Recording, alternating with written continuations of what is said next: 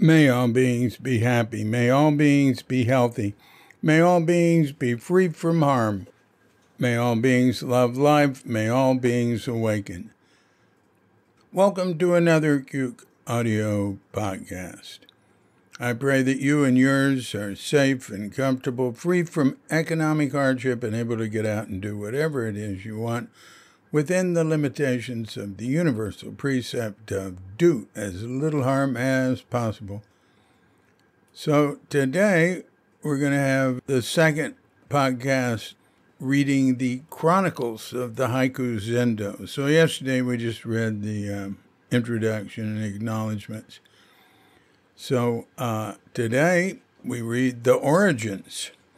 No, the Haiku Zendo in Los Altos, California is where uh, Shunryu Suzuki gave uh, the lectures that were used, that comprised Zen Mind, Beginner's Mind.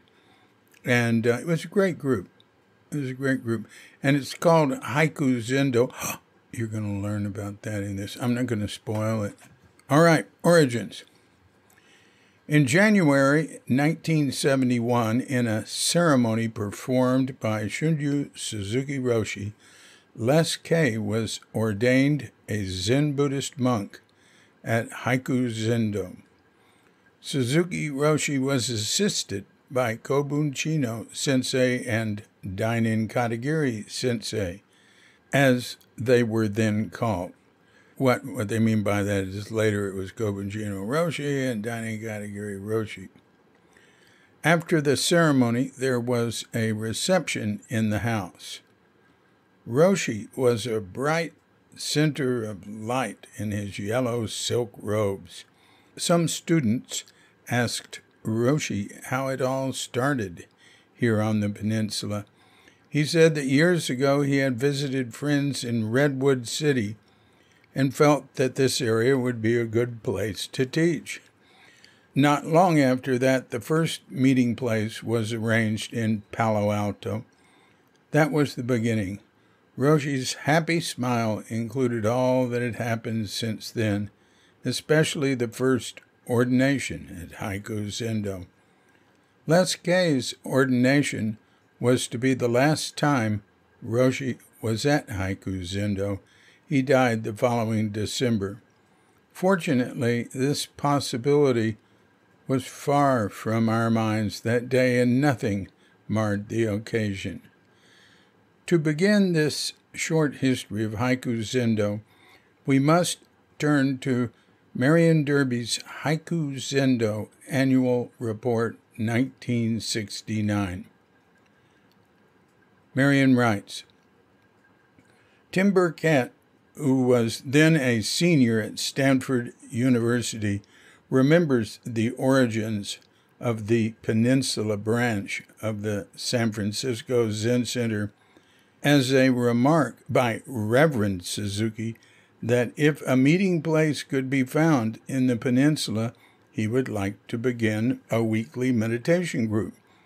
Tim contacted a Stanford graduate student who agreed to let the group use his living room. Tim sent postcards to people on the Windbell mailing list who lived in the area, and early in November 1964, the first Zazen and lecture was held at 1005 Bryant Street in Palo Alto. Tim remembers that there were only three or four who attended the first few meetings. All right, that's the end of Marion's comment there. Between February 1965 and June 1965, the following people began to attend the Palo Alto meetings regularly Gladys Halpern, Marion Derby, Gertrude Davenport, Tim Burkett, Philip Wilson, Helen Donahue, Bob Randall, Dan Beatty, and Tony Johansson. That's T O N I Johansson, Antoinette, because her husband was T O N Y. And he started sitting there too. Gertrude Davenport describes the situation of the morning group in 1965 as follows When I first went to sit in June 1965, it was in the living room of the old Kimball house in Palo Alto. That house was then a boarding house for men students from Stanford. There was a Japanese man, can't remember his name, who lived in the house and sat with us. After a short while, he moved away to San Francisco. We were then using the living room, but nobody who lived in the house was sitting with us. Roshi said, This is not fair to the people in the house. We must move from here. Shortly after, the Thursday morning meetings moved to Marion's house in Los Altos. Quite often in later years, newcomers to the group would ask us if there was a religious significance in the choice of Thursday as a meeting day. Tim Burkett explained as follows When Suzuki Roshi talked to him of establishing a weekly meeting in the peninsula, Roshi's schedule was not particularly crowded Tim was asked to name the day. Tim hurriedly reviewed the class schedule at Stanford. Thursday was his light day. So, and so Thursday it was, and Thursday it remained. For an account of the evening group in Redwood City, we turn to Marion Derby's 1969 report. On April 21st, 1965, the first meeting of the evening group was held at the home of Amy Simpson, who lived at 849 Palm Street in Redwood City. Zazen began at 7:30 p.m. No ceremony was held. After Zazen, Reverend Suzuki lectured on the Platform Sutra. Wow listen, I want to say something about the platform sutra. That's the Huineng's um, Six Patriarchs Sutra. Um, it's called sutra. You know, it's not really a sutra. I mean, sutra in a, a liberal use of the term sutra, which originally means, you know, a record of words spoken by Buddha. Um, uh, Suzuki told me that um, when we were uh, working on um, uh, when I was studying the Sandokai while he was lecturing on it, and the eko, the chants after the chants, the chants done by a single person, uh, offering the merit of the chant. Uh, he gave talks on our various ekos that we used. Uh, he said next he wanted to talk about the platform sutra. He thought that was the greatest thing out of China. I mean, that's what it seemed like he was saying. I mean, he spoke very highly out of it. Um, but that was 1970, and and uh, you know he was planning on doing that when he came back in '71. But um, he he uh, you know he, he sort of thought he might not have another another summer there. So he just lectured uh, extemporaneously that summer before he died. Anyway, back to the origins. At about 9:15, tea and cookies were served and questions were answered. Four students attended this meeting. Tony Johansson, Amy Simpson, myself, and a young man who drove Reverend Suzuki from San Francisco. This group grew to 17 people and then dropped to an average of 8 to 10. With two or three exceptions, the evening group during 1965 and 1966 consisted of people who did not attend the morning group.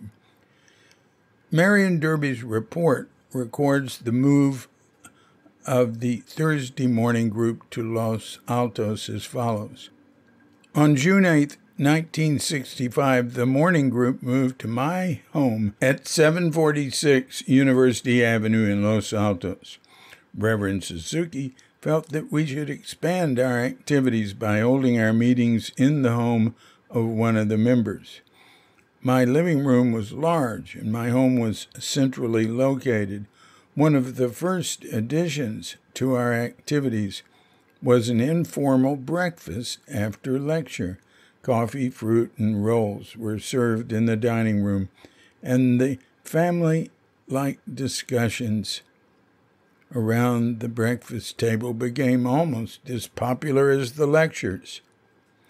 As Roy Henning has written, certainly Marion Derby looms very large in the history of Haiku Zendo. Uh, her warmth made my entry and subsequent attendance at the Zendo a very memorable experience.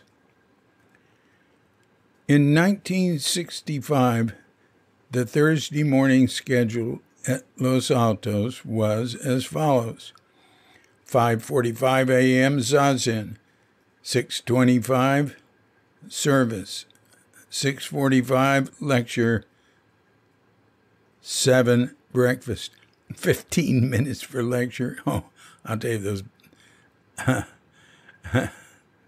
he wasn't giving 15 minute talks. Some of those are pretty short. Yeah those those talks are pretty short but I bet he answered questions or something. I'm, I don't really know.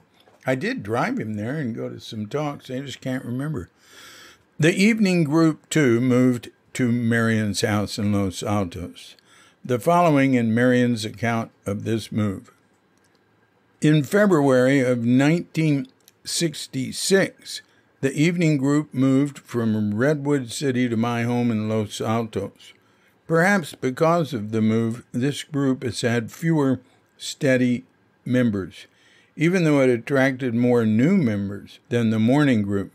The custom of serving tea and refreshments after the lectures was continued.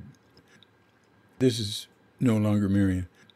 After the evening group moved to Los Altos, the consolidation of the two groups at one location was accomplished. Eventually, the evening meeting was to become very popular and continues to enjoy a large attendance. Now, this is written in 1973. In contrast to the, his morning talks, which were seldom more than 15 minutes, all right? Roshi used to talk at length in the evening. Some evening lectures went as late as 11 p.m. Oh my God. Eager as we were to learn from him, some of us found ourselves dozing occasionally. No one seemed to mind. The schedule for the evening meeting was as follows 7. Zazen, 740 service, 8. Lecture, 9. Tea and discussion. What? He gave a three hour talk? I never saw him do that. Maybe the talk and then he'd ask for questions and we'd just go on and then they'd have tea at 10.30 or something. I can't believe he'd be talking to them. Some of it, she says some of his evening lectures when it's late as 11 p.m. Wow. Okay. That is the origins. Uh, Tim Burkett has written about this too. And I'll tell you what, when I'm through reading this, I'll um, I'll read you uh, pieces out of Tim Burkett's book, Nothing Holy About It The Zen of Being Just Who You Are. Stories, koans, poems, and memories of my extraordinary teachers. Yeah, nothing holy about it. He was with uh, Shunryu Suzuki and then with Dainin Katagiri. And um, edited by Wanda Isle. Okay, you know, I could do that. I think I might go over Tim's book. Um, it's got some good stuff in it. He was at Tassajara the first practice period, uh, and he's he's. Um, I was just talking to Norman, to Norm Randolph in Minneapolis this morning for this week's guest, and he said Tim is like semi-retired his habit of the Minneapolis Zen Center.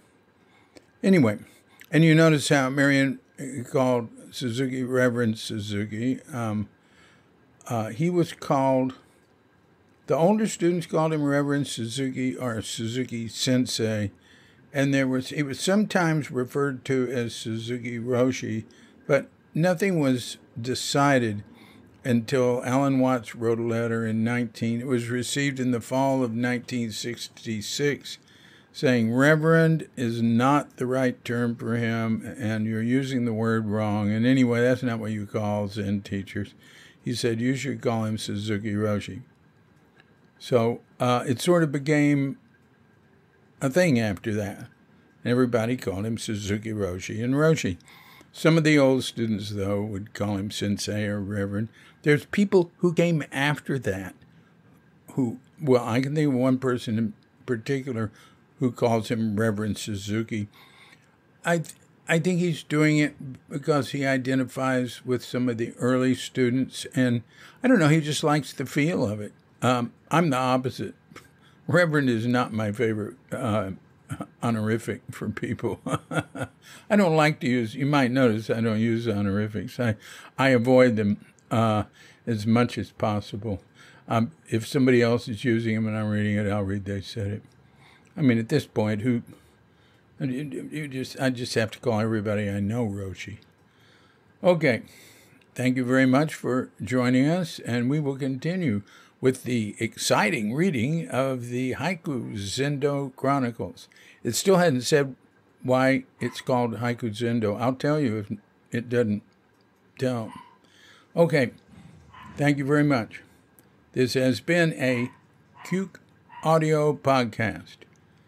I'm DC Puba of Cuke Audio and Cuke Archives, coming to you from Sleepy Sanur with Dog and Bandita, Feline Kujita, and dear lovely Katrinka, and Mudik, the plumber electrician who just arrived. I can hear him downstairs with our little guest dog, Bumble, barking at him.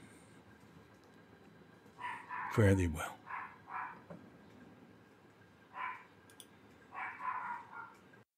Oh, yeah, we're wishing you and yours and all of us a grand awakening.